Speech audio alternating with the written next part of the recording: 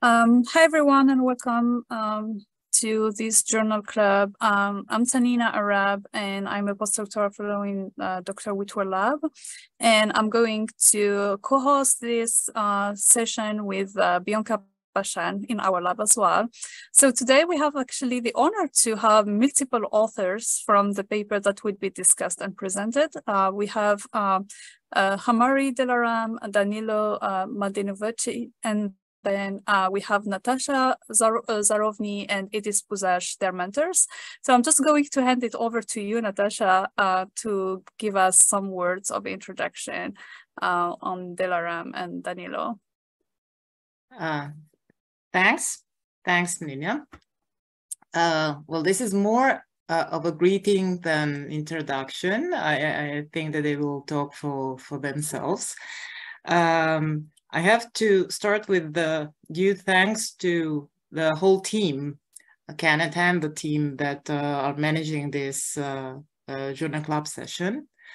Uh, for this very much appreciated uh, invitation that uh, draws the attention to this work.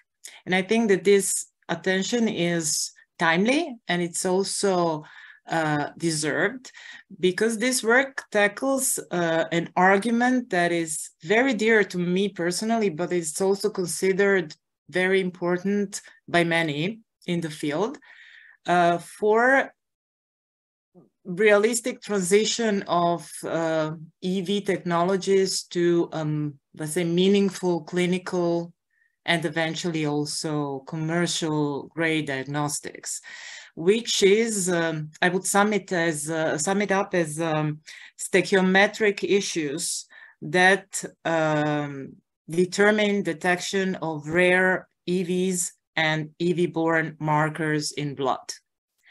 Uh, this, um, th this problem, this issue, has been looked by many from different angles, uh, and there are more fancy ways to resolve this, for example, by very, very cool analytical technologies. But we in Hansa Biomed and later in Exosomics, we, we've been looking at this from a different perspective, uh, which was a pre-analytical one. And, um, uh, and, and this is uh, uh, like as I said, let's fancy it's more banal, but uh, we have to Mm, consider that uh, pre-analytics is the cause of many, if not most, errors in diagnostic flows, okay? And it was also in, in, in our uh, personal uh, experience, uh, the cause of, uh, it, it, was kind of a showstopper for many EV diagnostic development pipelines, okay? So uh, I'm actually very glad that in their long and winding road uh, uh, along their training and PhD projects, uh, Danilo and Ella stumbled over not only the problem, but also some solutions. And it's very nice. These solutions actually come as very universally robust, transferable, and truly reusable. So this is something that can be implemented not only by EV researchers, but also by you know, clinical chemistry. And this is also why this work has been published in Clinical Chemistry Journal. Uh, so this is an introduction on, on what it focus on. But I would also have to, I, I have to say uh, another thing that uh, Della and uh, Danilo started and continued their training within uh, an ITN program that, to my knowledge, was the first, one of the first projects in Europe that was funded on EVs. And it was the first training program that actually gathered some really cool supervisors and were like creme de la creme of EV community in, in, in uh, Europe at the time. And also had a luck to recruit some excellent students and uh, I'm very glad to have Edith with us today. Uh, so I, I, am honored to be one of the supervisors of that program so that we can co and cross supervise our students. Uh, and I don't know whether you even noticed, but quite a few of students from that network already presented in this mm-hmm. journal club. So first, thanks to Edith for her very subtle, very decisive guidelines uh, along the decision making and uh, interpretation of the data that are going to be presented today. And I give word to Danilo and Della. So thanks. Thank you. Thank you, Nat, for this nice introduction and uh, words of wisdom. Uh, I hope now you can see the screen that I'm sharing. So, hello everyone, and um, uh, thank you for this introduction again. Uh, my name is Danilo Mladenovic. I'm a PhD student of Tallinn University, and I also work as a research scientist in Hansa Biomed Life Sciences. Um, Today I will be presenting this article on behalf of all of the authors and uh, this is the publication that uh, came out earlier this year uh, in the Journal of uh, Thrombosis and uh, Hemostasis. Uh, and the title of the article is Acidification of Blood Plasma Facilitates Isolation and Analysis of Extracellular Vesicles.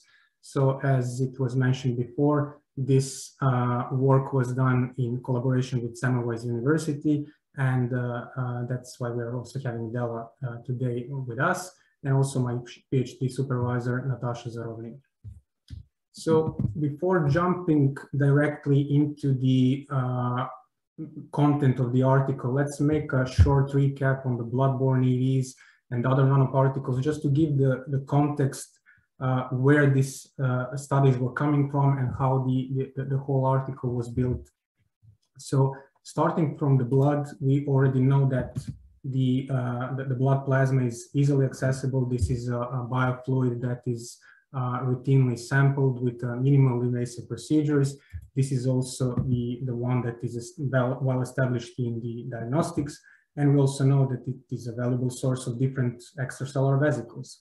So uh, which extracellular vesicles would that be? Uh, there are different reports that were tackling this uh, issue to, uh, to define how many different subtypes of uh, EVs we would have in total plasma EV population. And uh, one of such reports from this Computational and Structural Biotechnology journal that was published in 2020, uh, which analyzed the EV RNA profile in the blood plasma uh, they established that roughly 99.8% of all of the plasma vesicles come from the uh, blood cells, majority actually from the platelets alone, while only uh, this 0.2% were coming from other tissues.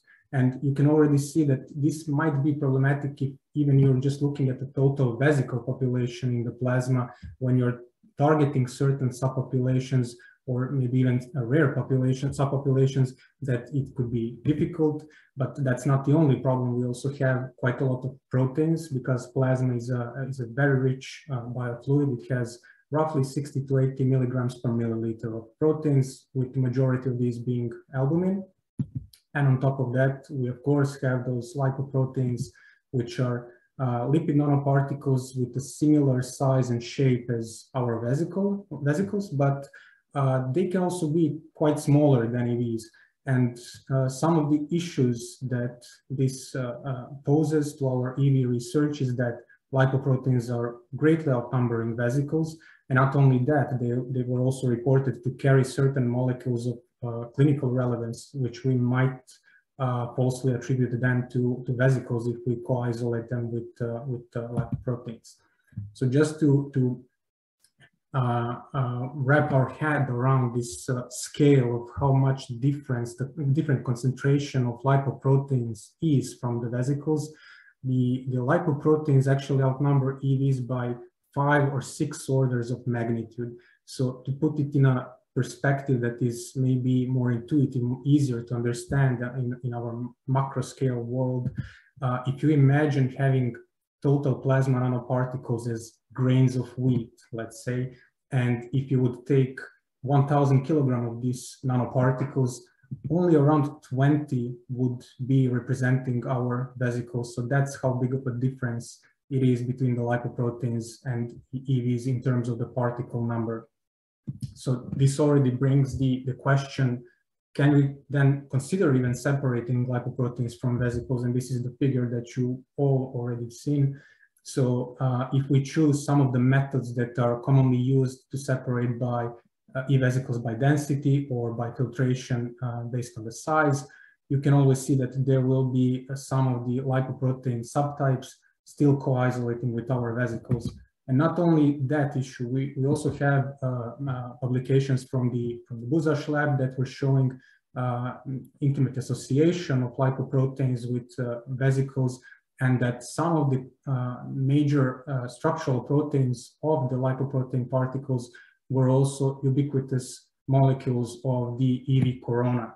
So we also have these images of crude plasma samples where we could see that some of the larger lipoproteins tend also to fuse with vesicles.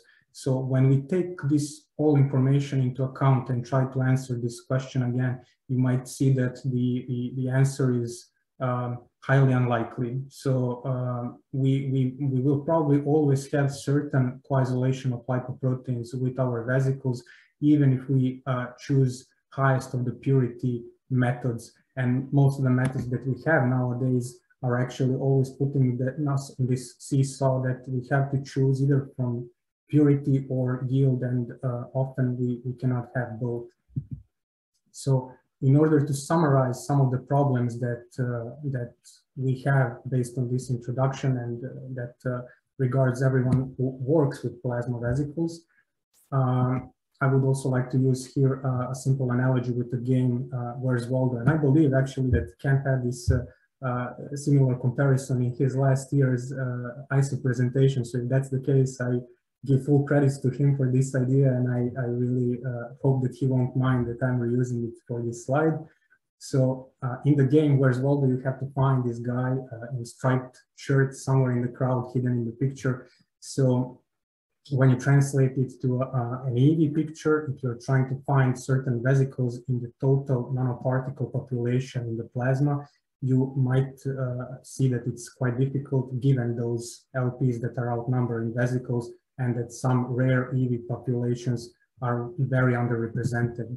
Then in the game, you would probably uh, start making some optimal search path in order to find this Waldo easier uh, and similarity with our, uh, let's say, EV methodologies is that uh, you would also want to have an optimal method, right? So something that would efficiently separate or enrich your vesicles and to do so in a simple and scalable manner and also in, uh, with reproducibility, right? But often we are actually left with this uh, trade-off of yield versus purity, and that's a big issue.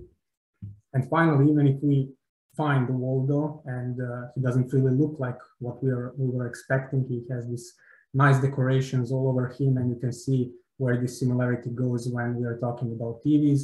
Uh, it's about their surface interactome that is uh, very complex, especially in the plasma. So even if you choose the higher purity method, finally you will have to ask yourself whether the, the, the markers that you're detecting are really uh, EV markers or are they maybe some uh, associated molecules that are part of EV corona?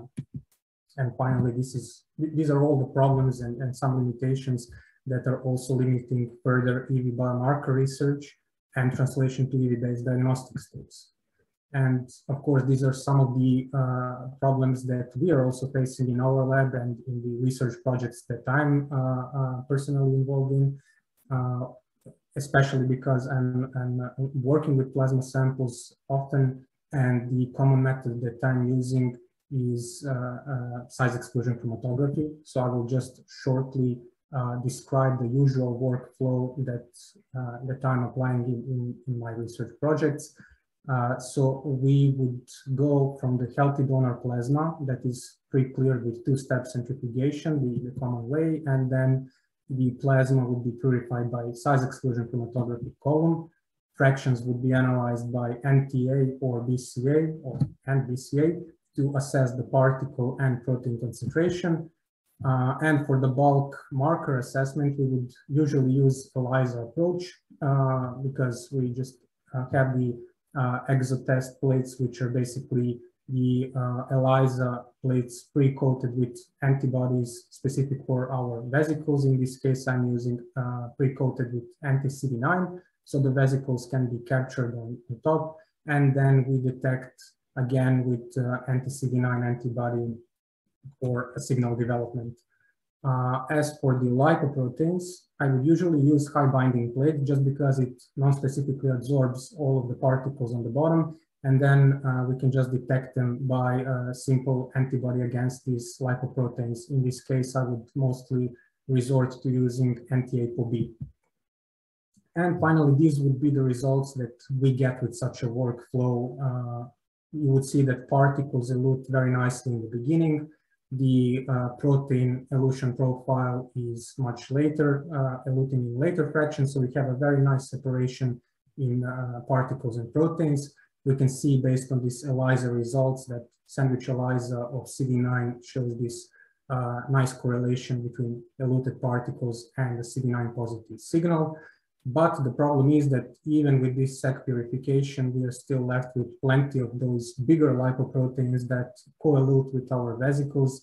And this is, uh, again, one of those problems that we just recapped. We have high lipoprotein contamination and we have low EV yield. So some of the solutions that we wanted to try out and, and uh, see if, if it had some effects was acidification, and you might wonder why. Well, because in the literature it was uh, reported that lipoproteins, especially the larger ones, VLDL particles, are sensitive to mild acidic conditions, particularly if they go below pH 6, they get destabilized and disrupted. Also for the major lipoprotein uh, uh, structural protein, ApoB, it goes under remodeling with lowering of the pH, although this is reversible. But for the plasma EVs, we didn't actually have that much data published, although there were reports on EVs from different biofluids that were showing greater pH tolerance in upstream procedures. For example, with uh, urinary EVs, they are uh, easily isolated from, uh, from samples that span pH 4.5 to 8. In the common milk pretreatment procedures, um, they would use pH 4.6 and in some even more extreme conditions uh, for uh, cargo loading of vesicles with different, I think it was small RNA molecules, uh, they would use pH environment of 2.5. Although there was uh, a thing that, that was uh, reported in most of these cases is that acidic environment below pH 5 would show some detrimental effects on EV structure. So if we are resorting to acidification in our case, uh, with the plasma samples, then we have to maintain this small window of mild acidic conditions only just to be sure that we won't uh, destroy the vesicles. And also, if we know that EVs have net negative charge, we can expect that lower pH might lead to isoelectric precipitation. So we started with the first experiments to test plasma at different pH levels.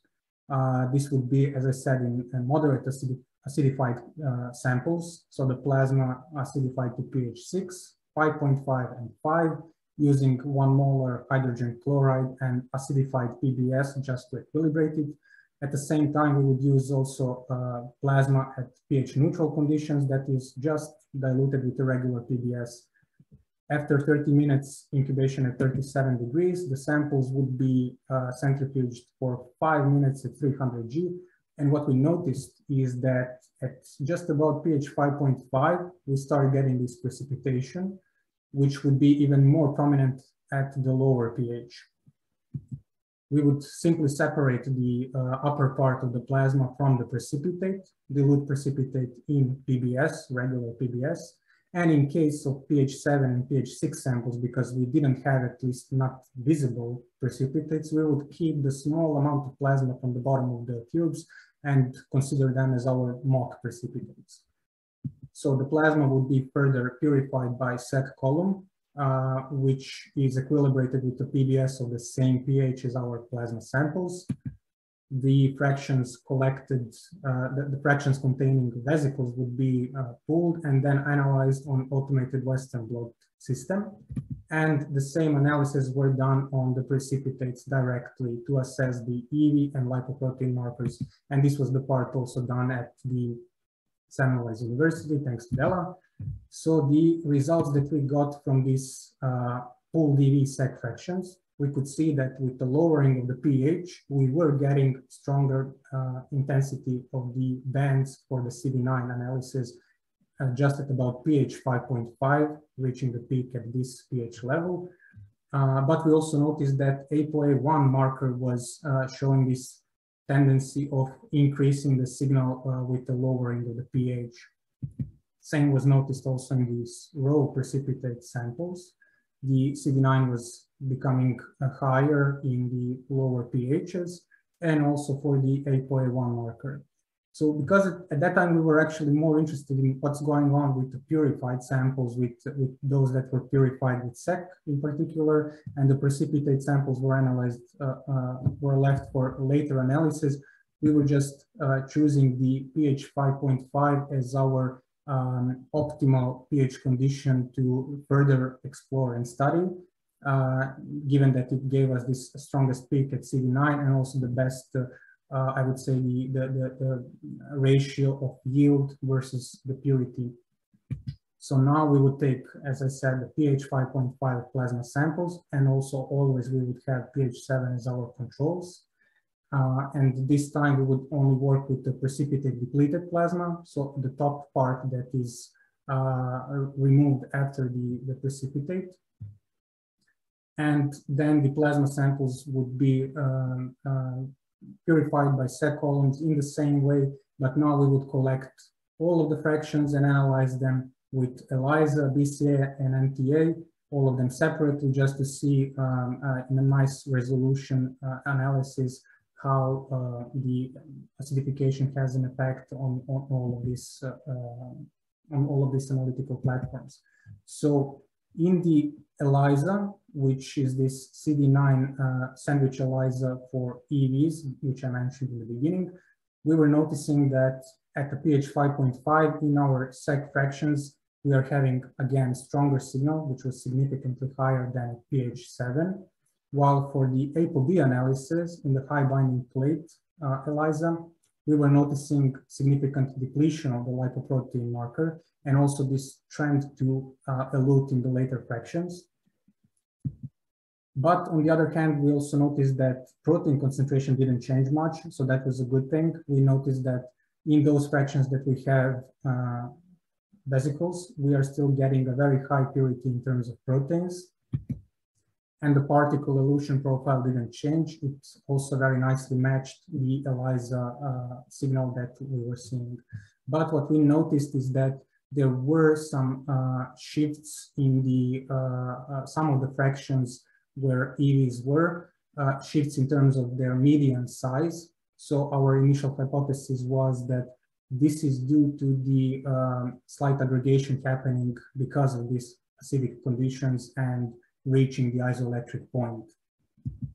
So then we went further and wanted to uh, study the effect of the acidification on plasma, not only on the uh, SEC purified samples, but also involving different common EV uh, isolation methods, such as differential centrifugation. This was also the part that uh, we did at Semmelweis University. So the, the, the, setup would basically be the same from the beginning. We would start with the plasma that is either acidified or kept at pH neutral conditions we would separate the plasma from the precipitate. Then the plasma would be purified first by SEC. Then the fractions of, uh, containing EVs were pulled and then subjected to the uh, differential centrifugation at 20,000 G and 100,000 G, uh, in which way we got this 20K SEC pellet and 100K SEC pellet. And throughout the whole procedure, again, we were using uh, PBS of the same pH as our plasma samples just to maintain the, the, same condition from the beginning till the end of isolation. In parallel, we were using the uh, DC only protocol. So the plasma was directly uh, subjected to differential centrifugation and the same DC only protocol was used for the precipitate sample. So we will get this 20K plasma sample, 20K precipitate sample. and also 100K uh, uh, plasma pellet and 100K uh, precipitate pellet. And finally, all of the samples collected were uh, analyzed with flow cytometry, with NTA, Western blot, and TEM. Just to recap, this is the table of the samples that we were getting. And the pellets actually looked like this. I thought this is uh, uh useful to just show it how, how they actually looked like. In pH 5.5, we always saw bigger pellet comparing to the pH 7 samples, uh, while the uh, 20K pellets actually looked more uh, opaque. The 100K pellets were looking much cleaner. They had this light translucent appearance.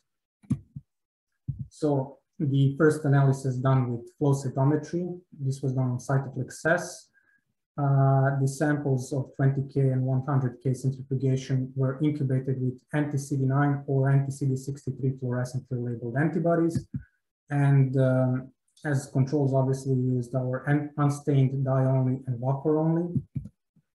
All events that were detected in our stained samples were normalized using count check beads and finally, the data was presented as the ratio between the events detected at pH 5.5 versus pH 7.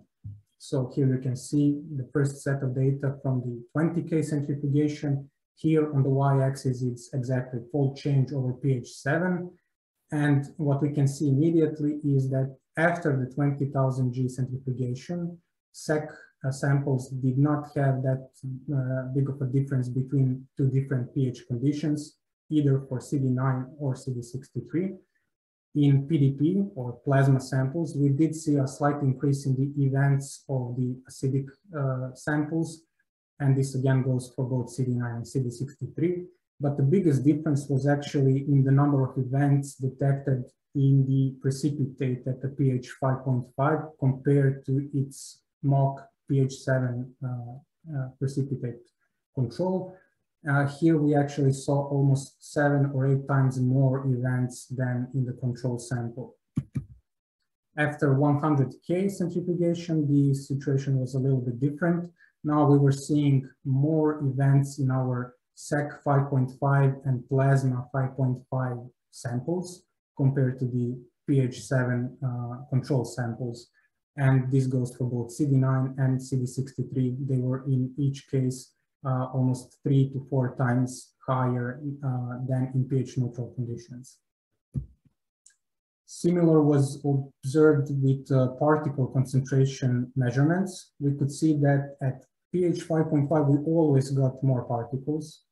And again, we noticed this uh, median diameter being uh, larger in pH 5.5 samples, which goes in line with our previous hypothesis that uh, this is caused by the aggregation happening at lower pH. So from this, we can, uh, from this data from Semmelweis University, we can actually draw some, some conclusions that acidification showed increased sedimentation rate during the common uh, centrifugation protocols. And this was again, thanks to the isoelectric precipitation at low pH. The high EV yield was first observed uh, in precipitate after the 20K centrifugation, while after 100K centrifugation, centrifugation the higher EV yield was uh, noticed in the precipitate depleted plasma and the SEC fractions.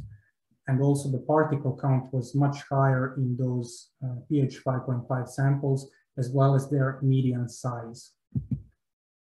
And this data was further corroborated with uh, simple Western blotting. We could see that, again, in, in those acidic conditions, we would get um, uh, much more uh, uh EV content compared to the pH, pH 7 samples that were loaded in equal volumes.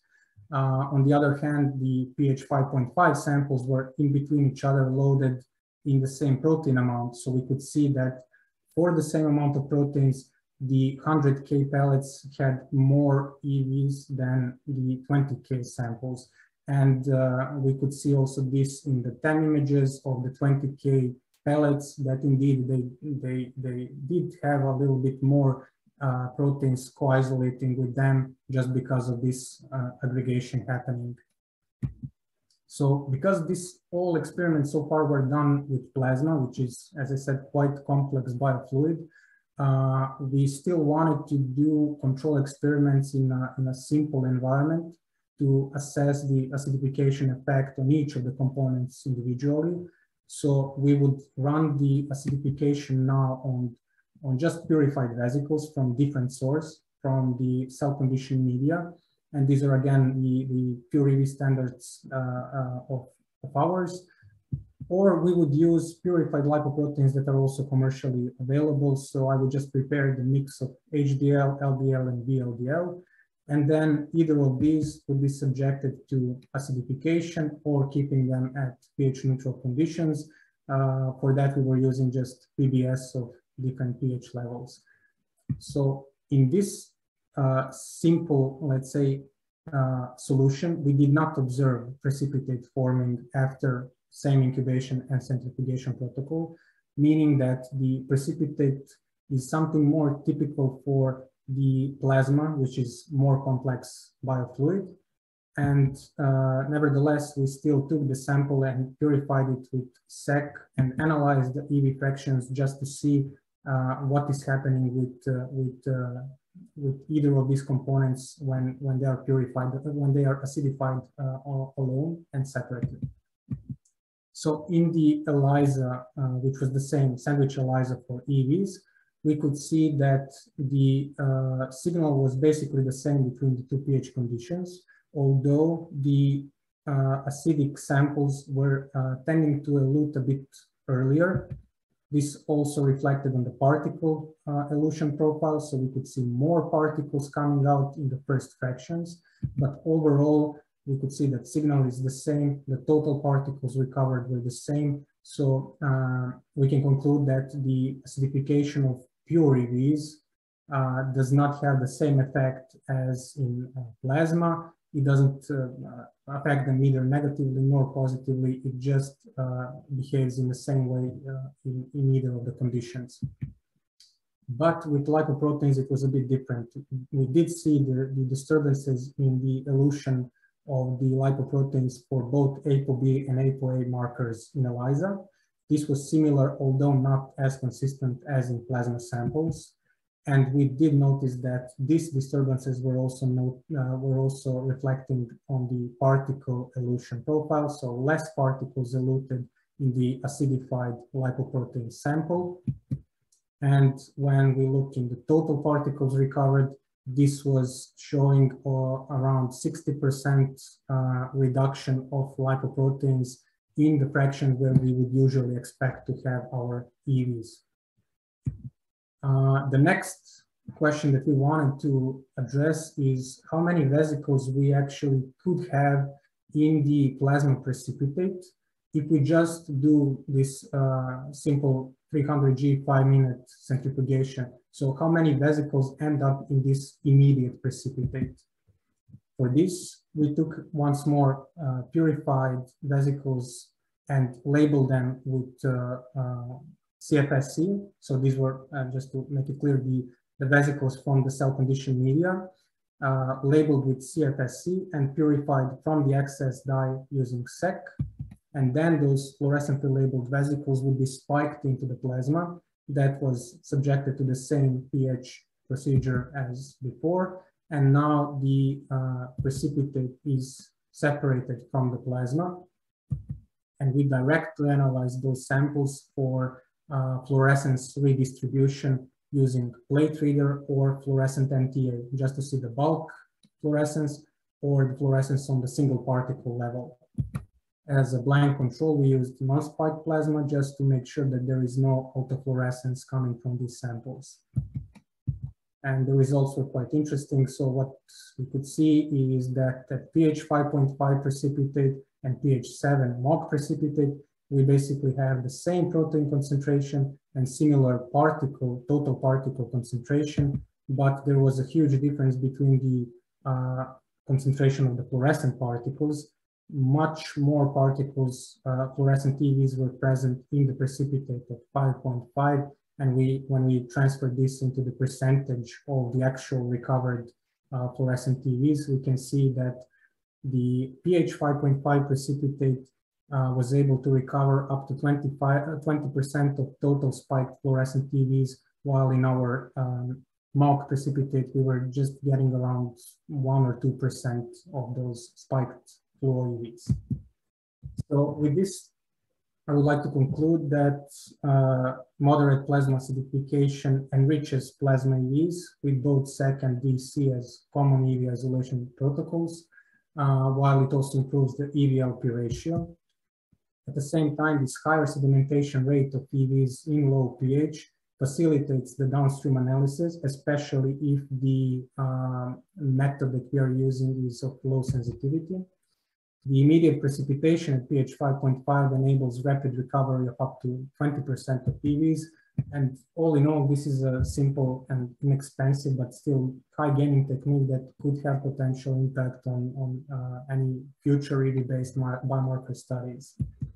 And with this, I would like to finish the presentation and thank to our uh, authors from Semmelweis University, to Delaram Khamari and Professor Dr. Edith Buzás, and also uh, Dr. Agnes Kittel from Institute of Experimental Medicine, who uh, uh, performed the TEM imaging for us. Thank you all for your attention. That was amazing. Thank you so much. Um, let me just, all right. That was a lot of work. Congratulations. um, so we do have a um, couple questions in the chat box, uh, and I'm giving the audience some time to put uh, even more. Uh, and perhaps I can ask uh, one question to start with.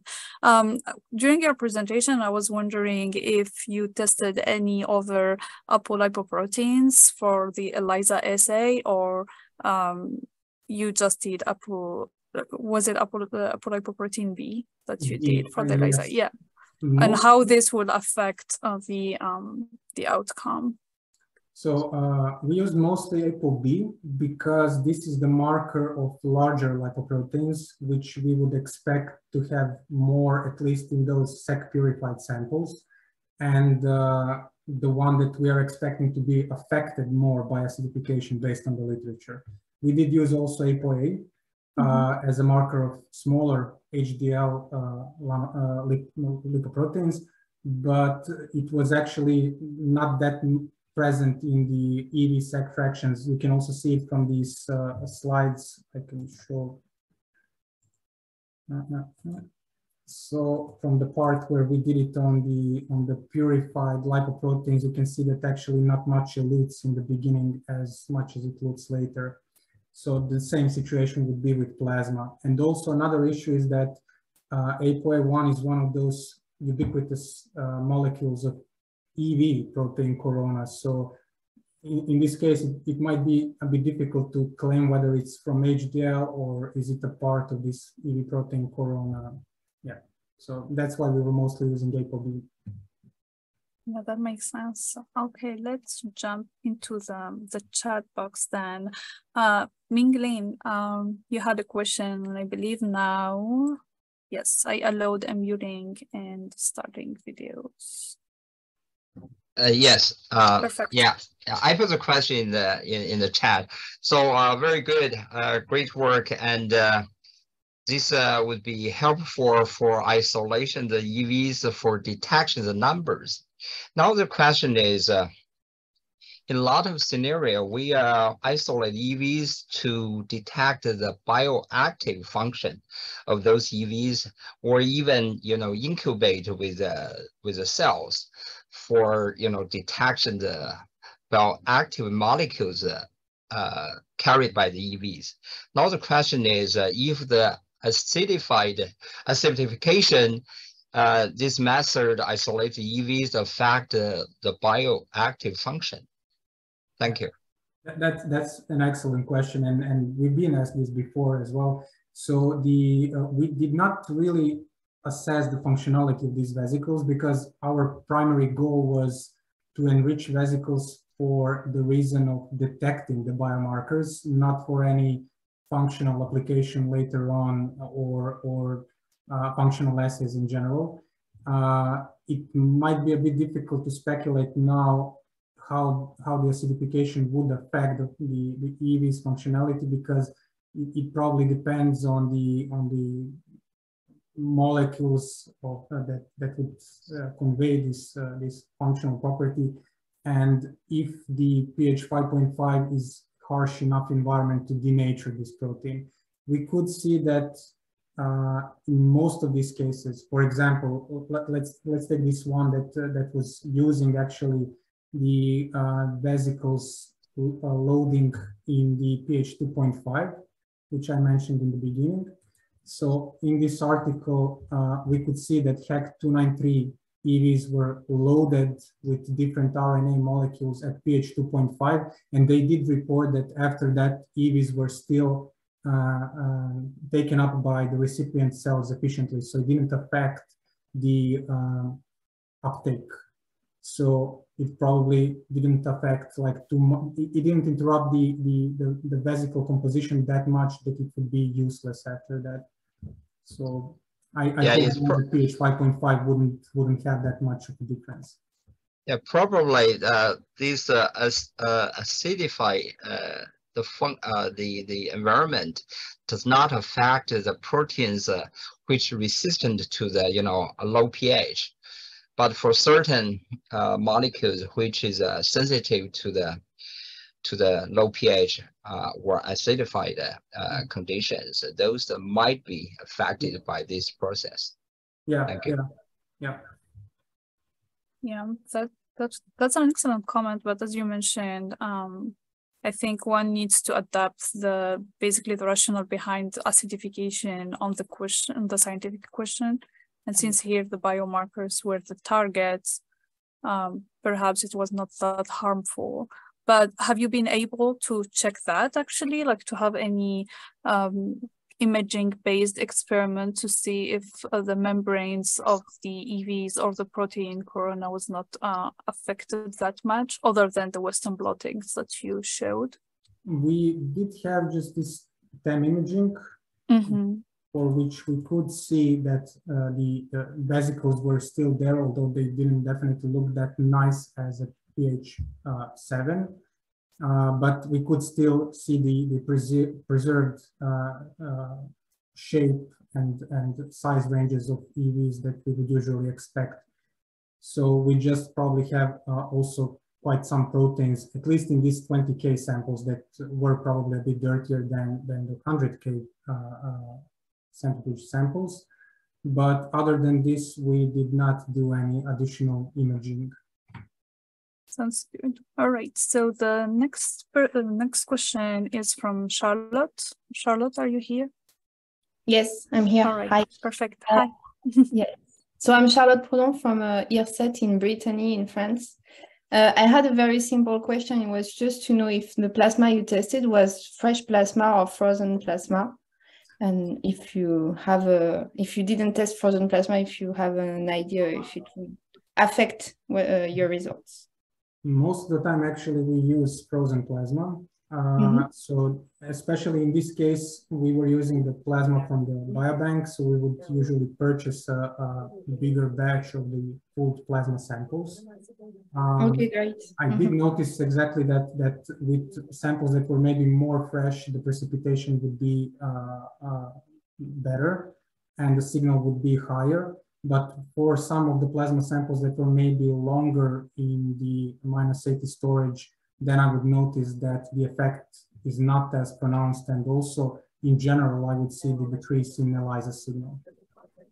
Okay, and and you didn't mention, I think, the condition uh, that were used to isolate the plasma, the the centrifugation that were applied. You said there were two centrifugations, but you didn't say which one. Oh, I missed it the the, the 20k uh, sorry no the initial one to isolate the plasma is it ah, uh... the uh, uh, you mean plasma from the precipitate or no the just from blood how you ah, isolate yeah because yeah. this was this was coming again from the biobank so they do the uh, uh mm -hmm. centrifugation yes. which was i think this 2500 g for 15 or 20 minutes Okay. And then I would perform additional centrifugation when I receive the plasma before aliquoting it and, and storing it at minus 80. So it's a double step centrifugation with this uh, 2500 G for uh, 20 minutes. Okay, great. Thank you so much. That was great. Yeah, thank you. Thank you. The next question was actually addressed directly to me, so perhaps this was uh, just a mistake. So Aled, if you don't mind uh, unmuting and share your questions with the audience, if you are still here. Otherwise, I can just read them. All right, so basically the question was, um, was there any morphology changes in EM induced by acids such as change in vesicle shape, membrane integrity, uh, complexation with other element? And I think you just you just answered this question. Um, and the second one, in your isolation, you kept the buffer acidic. Did you ever allow, did you ever allow a reneutralization of the pH? Um, and if so, did this have any advantages that of what you have shown so far? So basically, um, doing the the opposite acidification and then neutralization and see how yes. this may affect the results. So yeah, sorry, I, I probably missed that information in the, in the presentation, but usually yes, in the end of the isolation procedure, the pellets that we would get would be resuspended in the regular PBS. So I didn't measure actually the, the pH of those I need my shoes uh, and then the sweater. Okay. Someone unmuted by mistake. Sorry about yeah. that. Uh, in, indeed, like just to answer the question, it, uh, in the end, the samples were suspended in the regular PBS just to um, uh, prevent any further, maybe like prolonged exposure to acidic conditions that could be detrimental to EVs. Yeah. Um, and then the next person asking a question was Catherine. Catherine, are you here? Hi, I'm here. Cool. Please um, go ahead and ask your question. Okay, so yeah, I have two, but I'll just ask the one.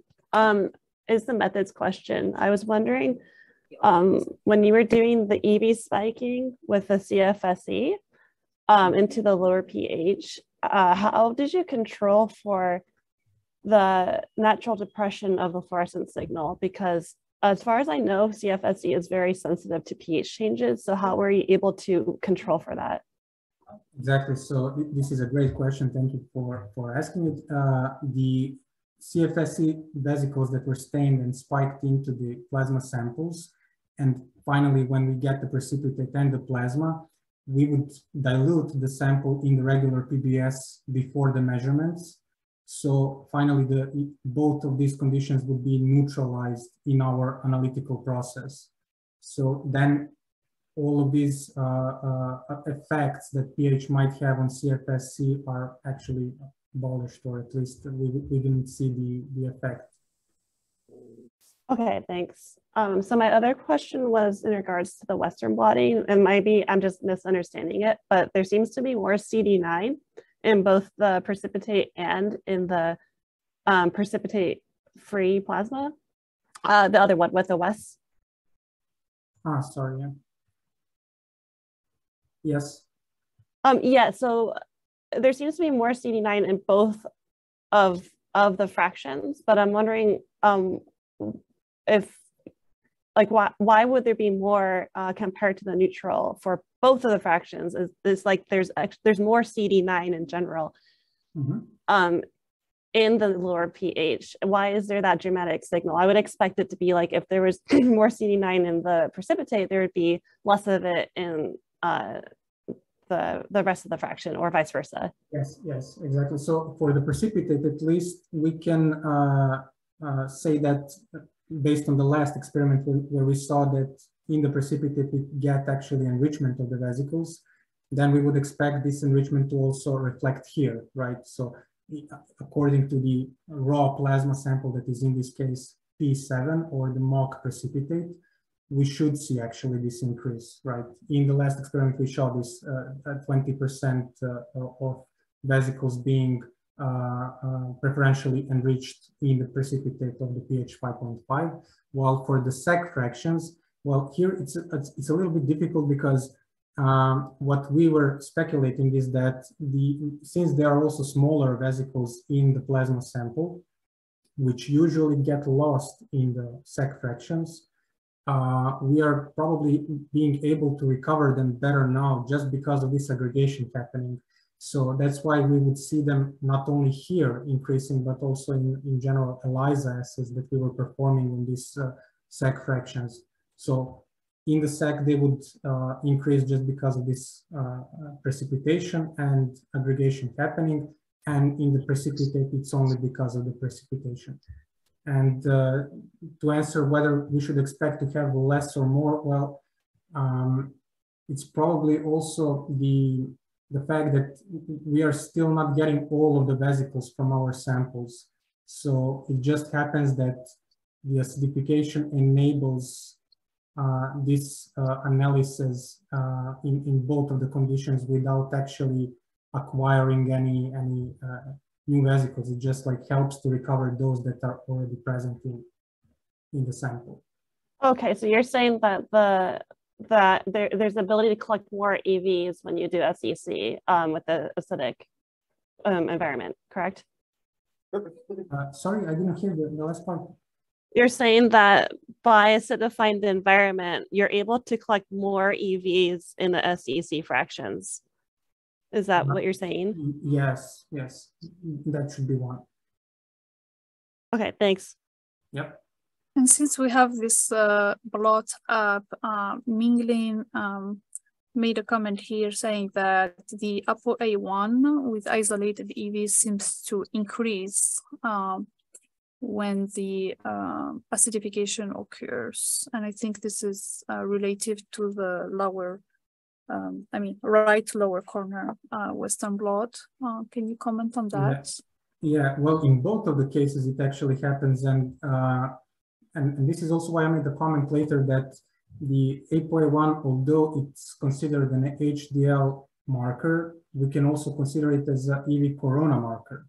So it's difficult to say whether this enrichment comes because of the HDL or because it's associated to vesicles that we are also seeing here in increased in the in the same precipitate. Oh yeah, you have mentioned that during your presentation. That's correct. All right. So next we have uh, Philip asking us, uh, yeah, hi. Uh, hi, hi. With a comment on functional analysis and what is required to do such experiment. Go ahead. Uh, well, in, in, in, all instances where one is looking for greater production uh, or isolation of EVs, um, in the end, it's required to test their function both in vitro and in vivo. And when doing so, one must be uh, very careful to do dose response of the function in comparison, in comparing, let's say, the acidified with the non-acidified, etc. Um, this is a pretty ultimate comparison of what I think is the most important uh, aspect of the EVs is their actual function and function in a dose response experiment. Yeah, and I believe Natasha already kind of had a, a chat here, so please feel free to unmute and uh, share your comments with the audience. No, I actually, I, I fully agree. I mean, this is something that is so uh, missed so in so many claims on function, okay? Uh, here, uh, we actually work on, um, as I mentioned at, at, the beginning, I think that the challenge fronted here was more with uh, some sort of a diagnostic application in mind than functional. And it also goes along with the volumes used and types of samples used. Now we know that blood is also uh, a source of vesicles that are very functional. I mean, there are a lot of people studying that. Uh, so how to harvest uh, vesicles from blood and use them for their functionality. And I would also say that functionality can also be of diagnostic uh, importance, right? But uh, the, the, the thing is that as Danilo said, we actually did not assess the function uh, of these particular vesicles. We played with the pH on different types of vesicles, never the blood-borne ones. And we know that pH affects uh, function in quite paradoxical ways. As I say, sometimes you get to even increase of function of some moieties, like enzymes. I mean, there are enzymes that get more active if you uh, lower or, you know, put higher pH. This is an excellent uh, suggestion. I'm not sure that uh, even, you know, involved in this work, I would actually recommend to introduce acidification to increase the yield of vesicles that are obtained from blood for the sake of using them as functional effectors, right?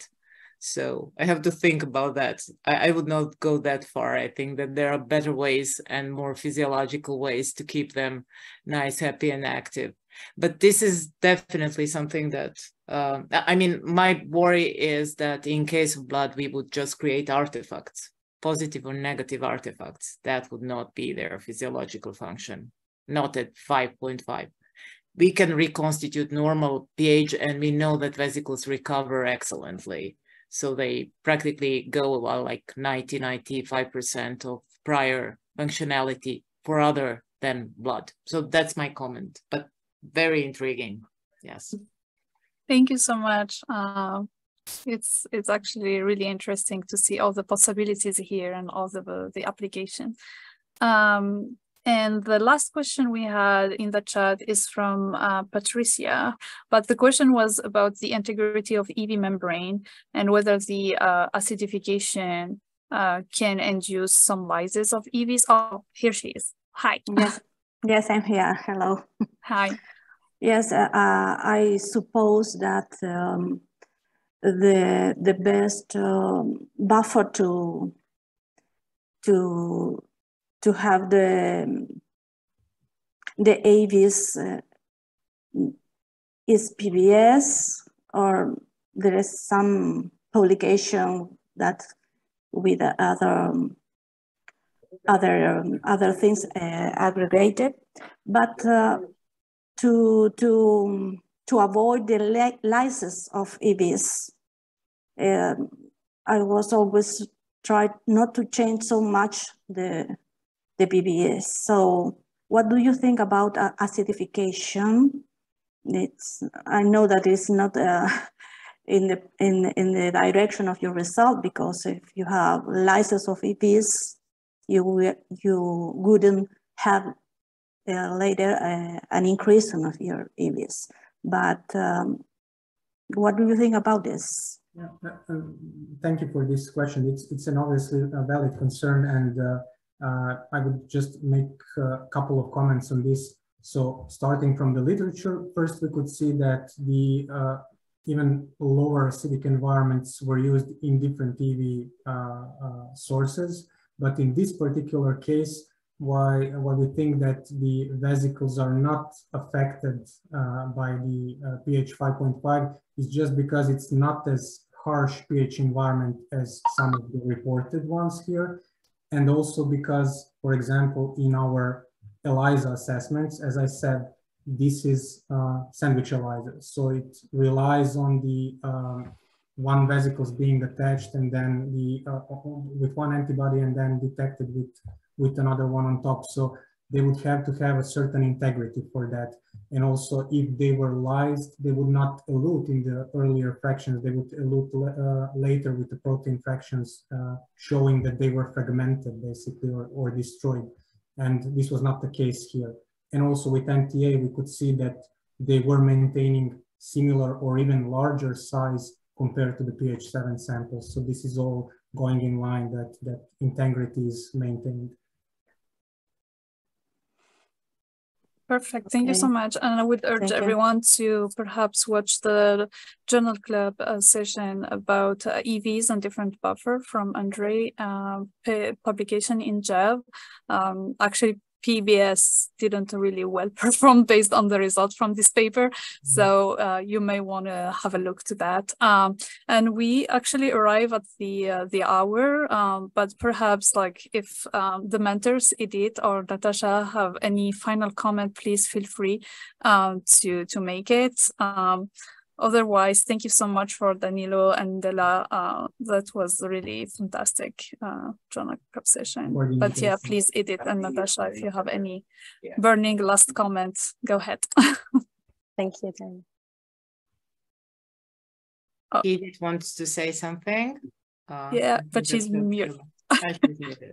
yeah. yeah. Well, uh, as, as no. yeah, here. go. Thank you very much. No, I think the the presenter Danilo uh, presented the results really well, and I I have nothing to add. So thanks, Danilo. Thank you.